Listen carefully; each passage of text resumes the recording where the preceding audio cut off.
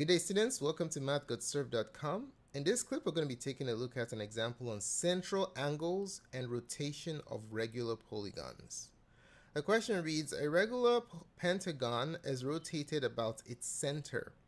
What is the minimum number of degrees needed to carry the pentagon onto itself?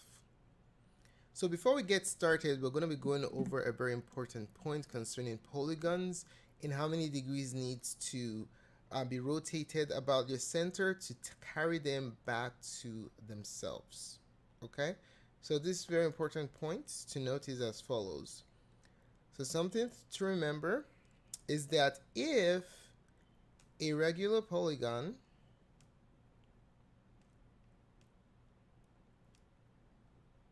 is rotated about its center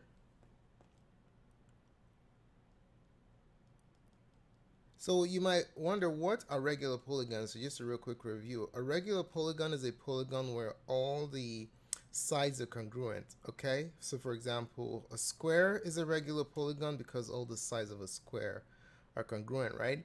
And the, a triangle is, uh, equilateral triangle is also a regular polygon um, because all the sides are congruent. So an equilateral polygon is also known as a regular polygon all right so just keep that in mind. So if you if a regular polygon is rotated about its center by the measure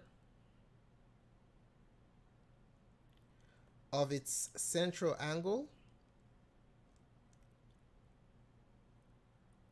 guess what? If it's rotated by the measure of its central angle it is carried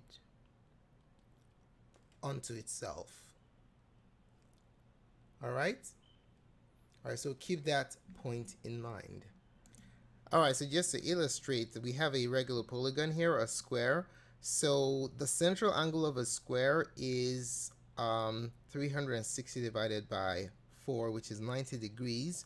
So if we rotate this square by 90 degrees, which is a measure of its central angle, so if you want to know what the central angle is, this right here is the central angle. Just connect the center to two vertices and get the central angle. Okay, so the central angle of a square is 90 degrees because there's the four of them right there. All right, you just take the entire circle, 360 divided by 4. All right, so the central angle of a square is um, 90 degrees. Now, if we rotate this square 90 degrees about its center, guess what? Rotated 90 degrees about its center. Bam! That's 90 degrees. Guess what? It carries it onto itself. Basically, it maps it back to itself. You get, you have exactly what you started with. All right, so that's um, what this reminder is talking about. All right, so now let's go ahead and formulate a strategy for this problem. So here we have a regular pentagon rotated about its center. What's the minimum number of degrees to carry it to itself? So what is this question actually asking us to find? What is the connection here to connect the minimum number of degrees to the rotation about a center to map it to itself? So the strategy that we're going to use is as follows. We're simply going to find what? We're going to find the central angle of a regular polygon.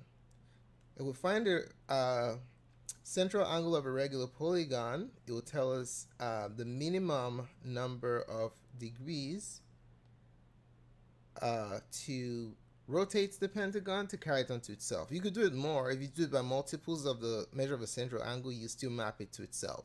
Okay, so like the square example we just did, if you rotate it by 90, 180, 270, 360, you're still going to map the square back to itself.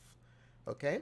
All right, so how do we find the central angle of any polygon? We just did it with the example of the square, but let's talk about it generally. The formula is as follows. The central angle, central angle of an n-sided polygon is what? You just simply take full circle rotation 360 and divide it by the number of sides. Bam, 360 divided by n. Okay. So for a pentagon, how many sides does a pentagon have? A pentagon has five sides, right? So for a pentagon, n is equal to 5. Okay? So what's the central angle of a pentagon? So the central angle of a pentagon is 360 divided by n. 360 divided by 5. If you do the calculations, that is 72 degrees. Okay? So the minimum number of degrees needed to carry a pentagon onto itself when you rotate it about its center is 72 degrees. Okay?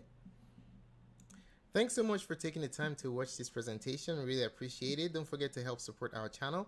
Tons of support resources can be found on mathgotserved.com. Do check it out. If you have any questions about what we just went over or any geometry questions in general, just specify it in the comments section below. Thanks again for watching and we'll see you in the next video.